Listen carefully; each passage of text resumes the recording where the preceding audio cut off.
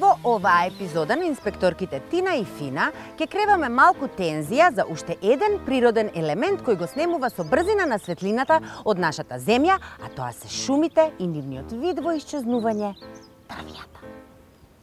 Ајде! Близко сме.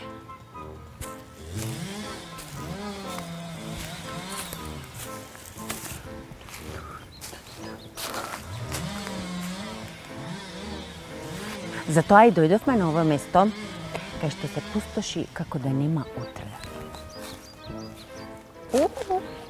Затоа ги повикуваме сите планинарски друштва на акција. Подитно, да ги пренасочат сите нивни рути од екстра популарните Пелистер, Бистра, Галичица, што ги знаеме сите онака на памет, и да почнат да организираат тури на Јабланица, Огражден.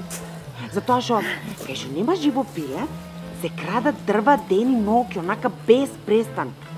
А таму кај што има движење на планинари и туристи, не може баш така лесно да се одбива дива сеча на дрва. Стекно е?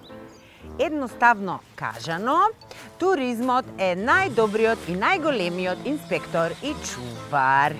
Друга важна работа е што прави инспектор Тина. Поставувам фотостапица за штеточини. Ама не оние од животински вид, туку оние од човечки вид. Дрвократци. А некој помине, чкрап. Motion activated. Фотостапица. Хм. Еве ги на AliExpress, 25 долари.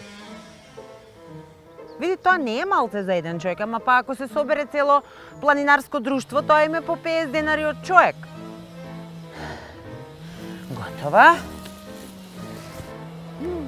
Ајде. А сега насмевнете се и мафнете и на камерата.